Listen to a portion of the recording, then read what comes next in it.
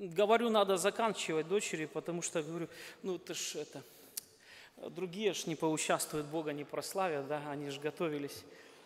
А, знаете, я вот э, думаю, вот какие истины сегодня буду говорить, я думаю, что вы все со мной согласны. Вы согласны, что Бог абсолютно свят? Аминь? Да, согласны. Знаете, уровень святости Божией, он настолько велик, что мы не можем достигнуть этого. Мы не можем постигнуть этого. Аминь. Аминь. Да. И вот, что интересно, Его святость, она и распространяется на нас. И Он призывает нас жить свято. Аминь. Да, действительно, это так.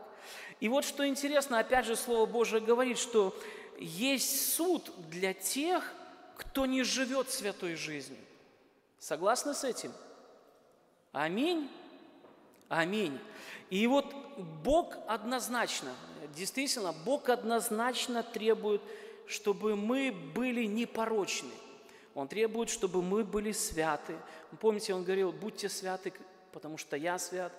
Э, чтобы мы не имели греха, были праведны в Нем. И вот зачастую, дорогие друзья, мы настолько увлекаемся вот этой мыслью, э, что начинаем думать, что мы сами можем достичь вот этого праведными делами – мы настолько увлекаемся вот этой чрезмерной святостью Божией и думаем, мы сами можем достичь. Я как-то, знаете, беседовал с одной сестрой, и, вот она говорит, ну мы это пока еще не совершенны. Такое создается мнение, ну вот годик второй буду совершенно, да, и все будет нормально, все будет нормально. Иногда мы настолько увлекаемся, что думаем, что мы сами можем своими делами, праведными делами, святыми делами эм, достичь Божьей святости. Осталось чуть-чуть только вот под, постремиться, чуть-чуть пояс подтянуть и, и приложим все усилия именно для этого, именно чтобы быть святыми, именно чтобы быть непорочными. Вот давайте вот будем стремиться, и мы читаем и призываем. Но знаете, что Писание говорит? А Писание говорит следующее – вся праведность наша, Исайя 64 глава, 6 стих, что вся праведность наша, она как запачканная одежда. Дорогие друзья, вся наша праведность, да сколько бы ты ни намагался, у тебя не получится. У тебя не получится. Послание к римлянам 3 главе 23 стихе читаем. Все согрешили и лишены славы Божией, а, знаете, о Боге сказано, что Он в ангелах своих усматривает недостатки. Это книга пророка Иова, 4 глава. Даже в ангелах Бог усматривает недостатки. Слабо? Слабо стремиться к такой святости, как у ангелов? Или мы думаем своими намаганиями что-то у нас получится? Знаете, у каждого из нас э, как кто-то сказал, свои тараканы. Да? У каждого из нас собственные грехи, собственные похоти, о которых знаем только мы и Господь. И вот понимая это, мы осознаем, что не всегда мы праведны, не всегда мы получ... у нас получается вот, вот стремиться даже к этой праведности. На словах классно получается. И воскресенье особенно, потому что воскресенье, я вот сейчас, правда, без галстуком, утро с галстуком был святой на сто процентов, даже в пиджаке, да, и в брюках, все как полагается. В воскресенье, а запредельная у меня святость, да. Вот, но не всегда у нас так получается, как мы говорим, не всегда получается так, как поем. И знаете, Бог всякий раз, когда мы согрешаем, прощает нас Бог или нет? Прощает прощает. И Слово Божие говорит, что Он милость превозносит над судом. Прощает. Он простирает руку, чтобы помочь, чтобы, э, чтобы мы встали. И говорит, я жду, я жду, пока ты поднимешься. Я жду, я хочу исцелить твое сердце. Я хочу поднять тебя. Я хочу, чтобы ты не жил во грехе. достаточно. Достаточно, подымись. Достаточно, хватит. И он, написано, забрал наши грехи, забросил наши грехи за хребет свой, Исайя 38 глава. Забрасывает. Знаете, мы обычно, проходя этот жизненный путь, если кто-то нас обидел, мы забрасываем это вперед. И проходит какое-то время, вспоминаем, а вот, ты же что-то говорил, я вот вспомнил. А Бог забрасывает за хребет и более их не вспоминает. И уже никогда не вспоминает. Бог не только строгий судья. Мы к этому привыкли, что Бог строгий судья, но Он и милостивый Бог. Мы также к этому привыкаем. К чему мы больше привыкли или чего мы больше хотим? Чтобы Бог с нами поступил по справедливости или по милости? Конечно, по милости. Сто процентов по милости. Что интересно, мы всегда хотим, чтобы к нам Бог оказывал милость. А если кто-то согрешает? Ну, конечно, по справедливости. И даже мы, эм, забывая милость, мы судим справедливо, как нам кажется. Мы, суд, мы, мы за справедливость. Мы так, чтобы все было до ладу. Так надо, чтобы был порядок. Но Бог милость превознес над судом. Бог хочет помочь нам даже тогда, когда мы боимся. Чего мы боимся? Просто поднять к небу глаза. Бог хочет, чтобы мы это сделали. Подняли к небу глаза, потому что э, Он с нами. Даже когда стыдно – он хочет, чтобы мы подняли к небу глаза. Когда боимся поднять даже свои руки к небу. Потому что они в гневе и в сомнении, и мы боимся этого. А Бог говорит, поднимайте руки, мужи, без гнева и сомнения – Бог любит миловать. Он, знаете, Он может взять даже самые неправильные вещи, неправедные вещи в нашей жизни, даже если мы сами на себя поставили крест. Ну все, безнадега, да? Даже если что-то, что-то работает в нашей жизни неправильно, Бог даже может и это взять и изменить. Я хочу обратить ваши лучезорные взгляды на Слово Божие, которое записано в Евангелии от Матвея, 1 глава. Аж 16 стихов будем читать, с первого стиха. Знаете, обычно, когда мы читаем вот эту первую главу, мы а, перелистываем, потому что 16 стихов нам кажется вообще ни о чем. Родословие. Ну о чем тут читать? Давайте мы все-таки обратим свои взгляды на Евангелие от Матвея. Родословие Иисуса Христа, сына Давидова, сына Авраамова. Авраам родил Исаака. На первых словах же кто-то может сказать, ну, это вообще неправильно. Ну, женщины рожают. Ну, давайте послушаем дальше. Э, Исаак родил Иакова, Иаков родил Иуду и братьев его. Это второй стих. Авраам родил Исаака, да. Третий. Иуда родил Фареса и Заруов Фом, из Зару, Зару от Фамари. Фарес родил Есмора, Есмор родил Арама, Арам родил Аминадава, Аминадав родил Нааса, Наас, Наас, Наасона, Наасон родил Салмона, Салмон родил Ваоза от Рахавы. Ваоз родил Авиадав от Руфи, Авид родил Иусея. Иусей родил Давида царя. Давид царь родил Соломона от бывшей Заурии. Соломон родил Раваама, Раваам родил Авию, Авия родил Асу, Аса родил Иосафата, Иосафат родил Иорама, Иорам родил Озию, Озия родил Иофама, Иофам родил Ахаза, Ахаз родил Езекию, Езекия родил Манасию, Манасия родил Амона, Амон родил Иосию, Иосия родил Якима, Иаким родил Иох, Иехонию.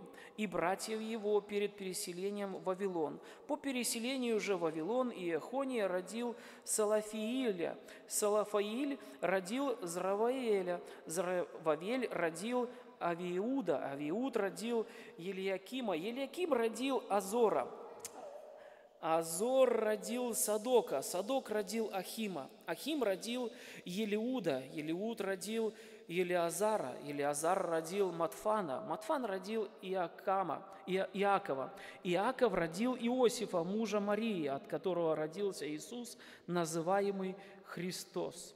Вот доселе. Даже во рту пересохло, так вот столько имен непривычных читать. Кажется, вот родословная, но вот здесь есть глубокая истина. Среди всех перечисленных мужей, которые рожали, да, ну, это шутка, да, здесь есть и женщины. Здесь есть женщины.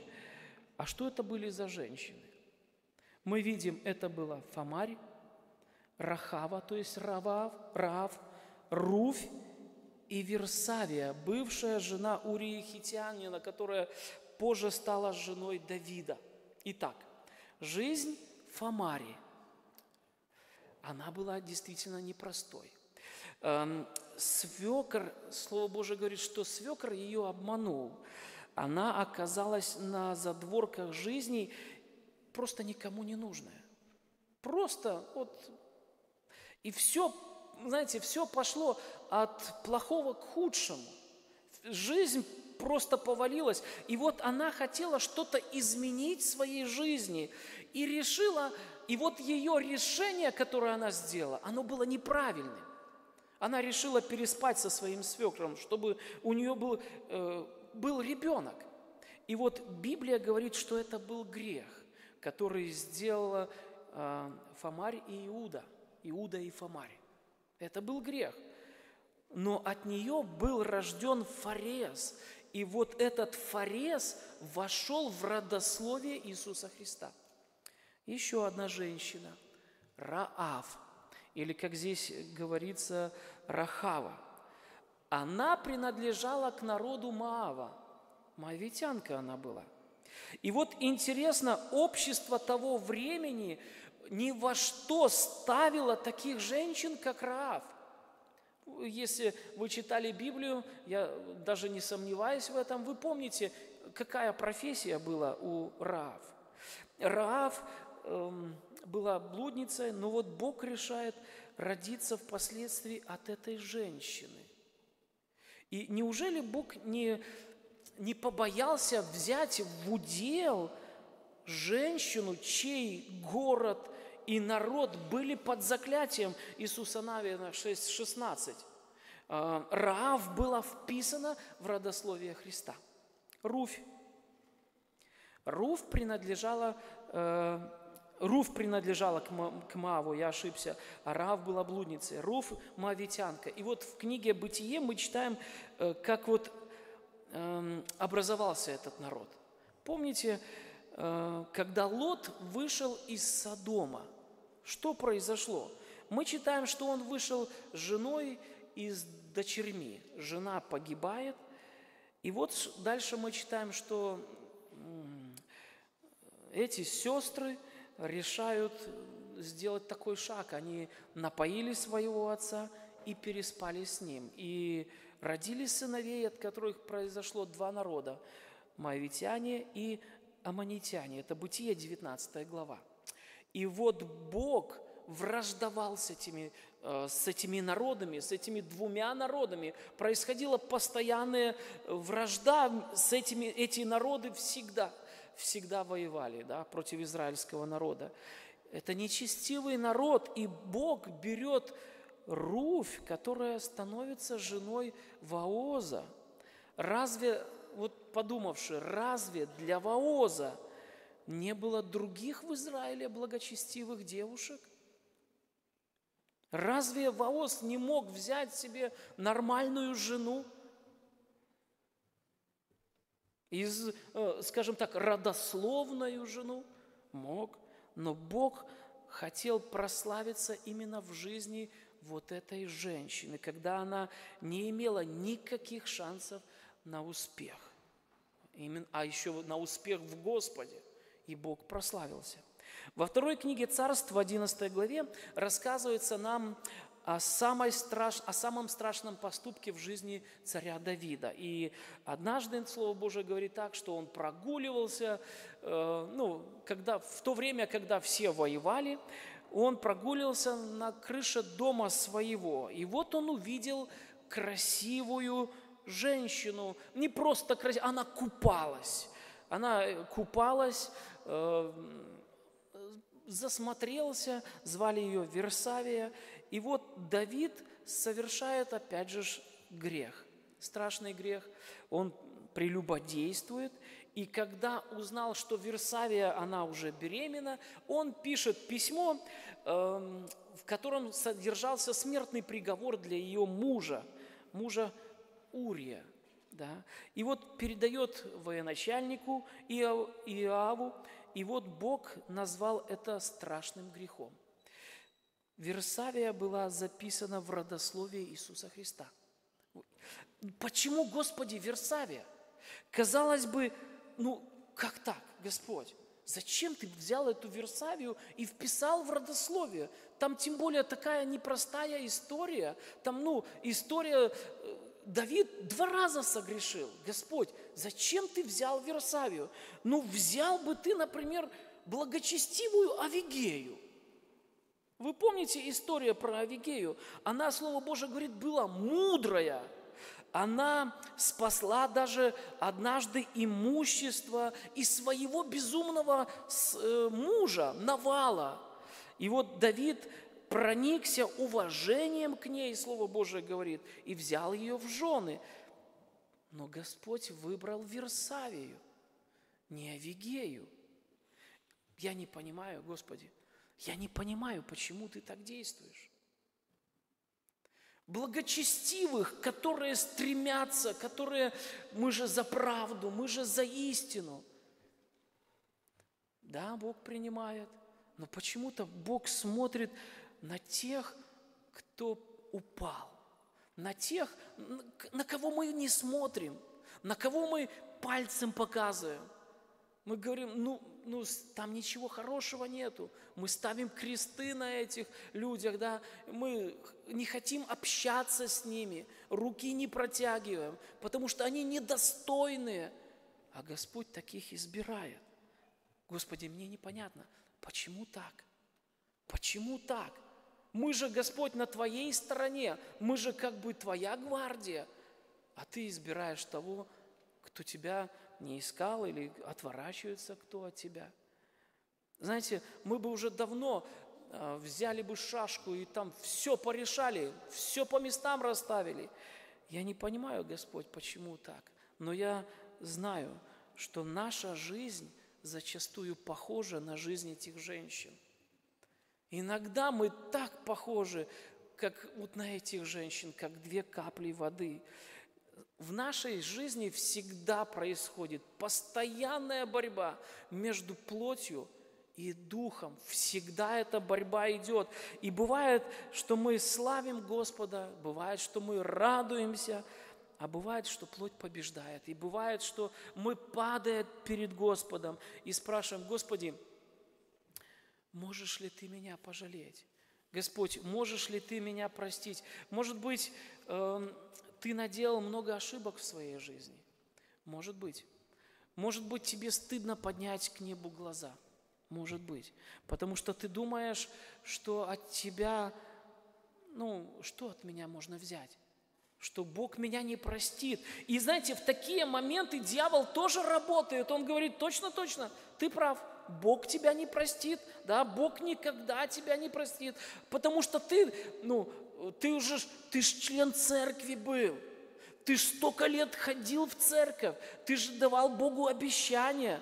Даже крови Иисуса Христа не будет достаточно, чтобы простить твой грех, который настолько тяжел. Твой грех не может быть прощен. И дьявол тут, как тут, он сразу же начинает говорить это человеку, и человек впитывает, как губка. Грех не может быть прощен, говорит. А Бог говорит, я милость превознес над судом. Дьявол говорит, милости твоей, Боже, уже не хватит, не хватит. Начинай молиться, начинай и смотри, Бог не отвечает на твои молитвы. Что делать? Что делать, Господь не слышит? Я уже говорил, в прошлом году для нашей семьи была страшная трагедия, просто страшная трагедия. Молились, и вы молились, и мы молились, и многие другие молились, братья и сестры, и много, знаете, из-за границы молились за мою супругу, да. И когда она ушла к Господу, можно было сказать, Господь, подожди, ну как бы я на твоей стороне, я же, ну, служу тебе. Почему, Господь, ты так допустил в моей жизни? Можно было бы задавать такие вопросы, ставить Бога в тупик, как бы казалось, да? И сказать, Господь, ты извини меня, но ты не отвечаешь на молитвы. Но Бог остается верен. Бог остается верный. Человек э, думает, что нет выхода, а Бог указывает на выход. Во имя Иисуса Христа на основании Писания мы можем говорить, что Бог свою милость превознес над судом. Его, милость, его милости достаточно, достаточно, чтобы покрыть даже самый страшный грех. Мы не можем простить. Мы не можем, иногда даже мы сами себя не можем простить. А Бог говорит, я прощаю. Я прощаю твое беззаконие. Если в твоем духе, если в твоем сердце есть желание покаяться, мысль покаяться, да, не переживай, ты не похулил Духа Святого.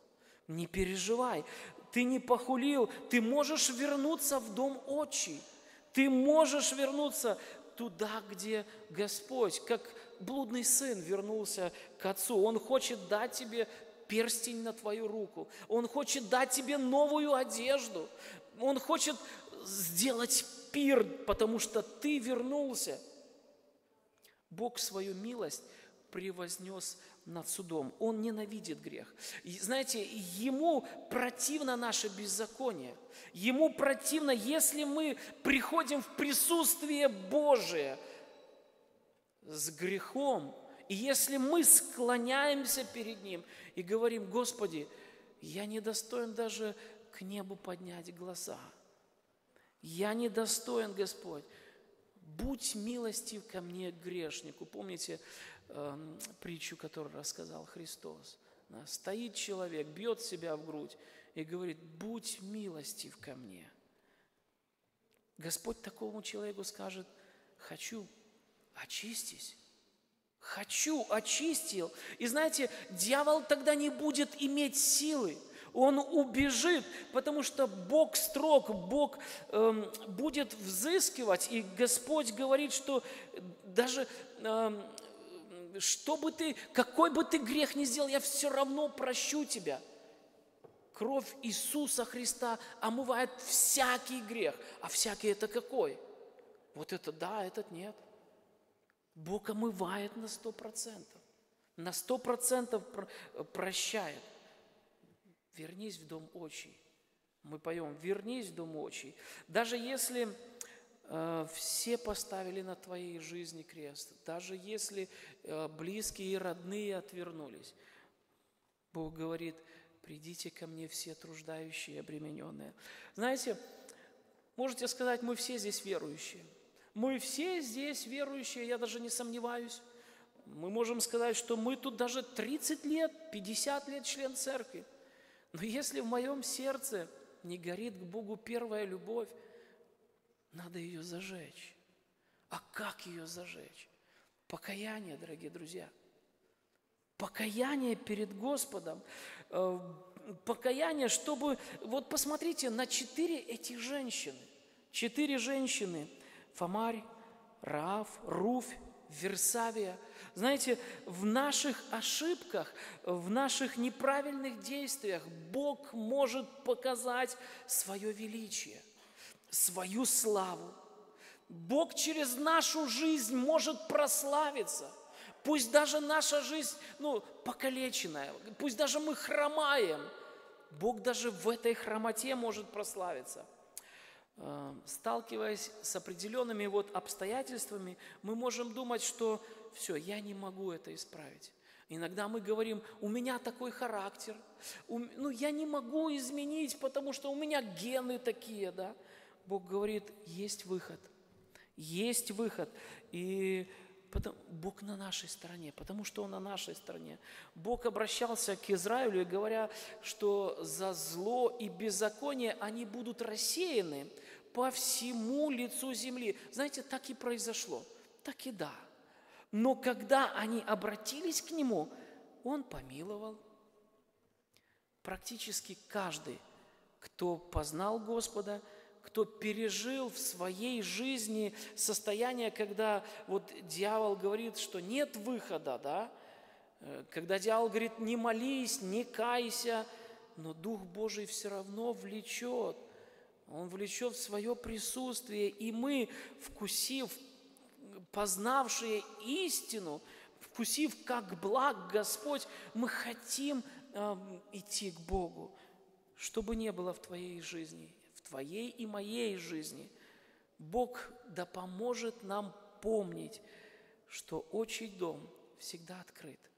Всегда открыт. Всегда открыт для тебя, для меня.